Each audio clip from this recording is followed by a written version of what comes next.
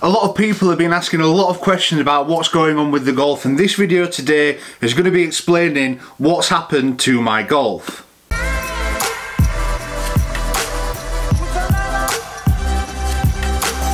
Hey up everybody and welcome back to the channel. So as you've just seen from that little snippet of the intro there, today's video is going to be talking about what's happened to the Golf. Some of you if you're on the Facebook group or if you follow my social media, and if you don't, follow it here the seeing that I've been selling parts from the Golf have been very mysterious on Instagram. People have been asking me, sending me messages, what's going on with the Golf, why selling this, why selling that.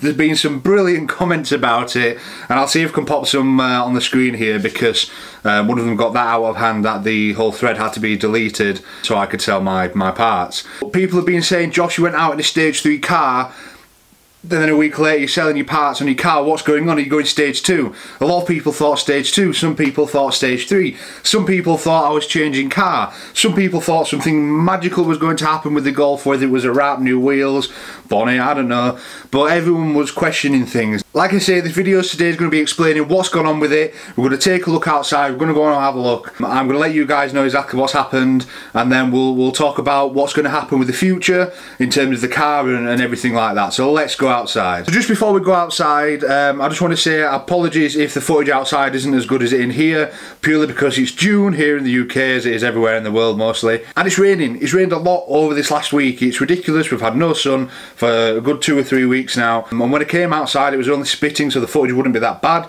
However, he's got he's since I've been filming this video it's got incredibly dark. So it might be raining a little bit more so just bear that in mind when we go out. But I'm going to shut up talking now and you're going to see what's happened to the car. Right so just as I mentioned it is raining a little bit. Um, it's not great weather outside but I'm just going to show you what's what the hell? That wasn't there the last time I came out here.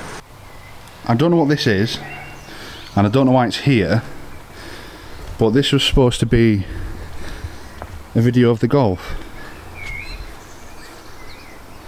what's it doing I don't not quite sure why it's there but I'm going to get into it I just so happen to have some keys on me um, and we'll talk about it a little bit more. So as you can see and as some of you correctly guessed I have not got the Golf anymore. This isn't a second car, the Golf is not here anymore um, I have bought a Toyota GT86. Now to be fair to you, with some of the people that did guess, you guessed completely wrong. Um, I didn't think that I'd end up in one of these cars, and that's by no means saying they're a bad car because they're not, and I'll come on to that in a second. But the Golf is no more. So we're going to go out for a quick drive in the GT86. I'm going to explain why I've got rid of the Golf and why I chose the GT86. There will be a full video outlining why I chose this car specifically, not this car as in like this exact car, but this sort of model and make and, and things like that. Because I've got reasons um, and you will find them out soon. So let's go.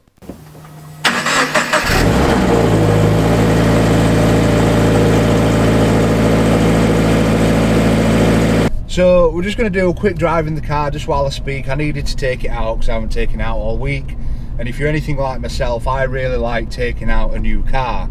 Um, just driving it around, getting used to it, getting used to the feel. In this case especially, considering I've come from a 2 litre automatic four-wheel drive car to a back to basics rear wheel drive again a 2 litre car but it's a lot lighter so I'm going to just talk through some reasons as to why I decided to get rid of the Golf and why I decided on the GT86. So, the reason why I wanted to get rid of the Golf, um, first and foremost, is it was costing me a lot of money. I'm not one of these people where I'm going to say that I bought the car cash because I didn't, I financed it. Um, and considering what I wanted to do in terms of life in general and the YouTube channel, the car was costing me a lot of money to, to sort of have in general. Um, so part of the reason was to get a cheaper car that I could do more stuff with and I can also have a bit of money left over at the end of the month and I do anyway but have a bit of money left over at the end of the month to invest into the YouTube channel be it places to go, things to do, things to do to the car, extra hardware in terms of GoPros, cameras, um, editing software, computer bits because a lot of people don't realise but you've got to have all of that as well as a car and um, a voice to be able to do YouTube. You know, you need a good camera or um, like Ricky from Living Life Fast.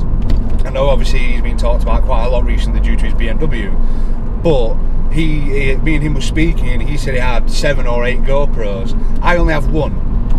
Um, so when you're looking at the videos, you know, if I move the camera around, it's me moving the GoPro rather than having multiple of them. So that aside, so why did I get rid of the Golf? Reason number two is I felt, and I don't know how you guys are going to feel about this, me saying this, but I felt like the Golf was almost desensitizing me from driving. I enjoy driving. If you don't know, I used to be a supercar instructor for a company called Everyman Racing.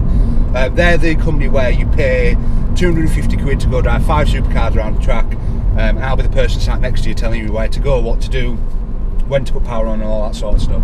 I enjoy driving, I enjoy the raw feel of a car. The Golf didn't have that. It's not one of its qualities, it's not an upside or a downside to the car. Um, it's just I felt like it was desensitizing me a little bit and I wanted a car that I felt like I had to drive to get the most out of it. I guess you can launch control the Golf as many times as you want but at the end of the day it doesn't really take much skill to drive and even Shaq said that in the video. And that's not saying the people who drive the Golf don't have skill I'm not saying that whatsoever. So I enjoy having a car that I need to drive properly. So there's that in there as well. Um, couple of little other other sort of tidbits is the tuning parts of the Golf quite expensive. Analytics tell me that you guys like seeing things being done to a car. Some of the best videos I've got, or some of the best performing videos in terms of watch length and all that sort of stuff, is when I go and get stuff done to my car or when I get new things for the car. I was struggling to do it with the Golf, um, so there's that in there as well. So without rambling on too much about why I got rid of the Golf, I'm going to tell you why I chose the GT86. So when I was originally looking for a car, and this was quite a few weeks ago, I had to keep it quiet, just in general, because I wanted to keep it a bit of a surprise. But the GT86 has always been on my radar. It's always been on my radar of a car that I wanted to own at some point. Um, I just didn't know when, I didn't know why, and I just didn't realise that it would be so soon. But I went out to go and drive this car, and it surprised me. It's, it is a small car, but it just played into every little thing that I wanted about a car in terms of you need to drive it hard and at 10 tenths to get the most out of it. It's a revy little engine, it revs to nearly 8,000 RPM, it's rear wheel drive, it's raining now, it's a lot of fun to drive. You know, I've never had as much fun in a car for a long time. Um, and that's before the Golf as well. And the aftermarket or the modification sort of scene around it is ginormous. You know, I don't see many of these here in the UK. There might be more knocking about than what I think.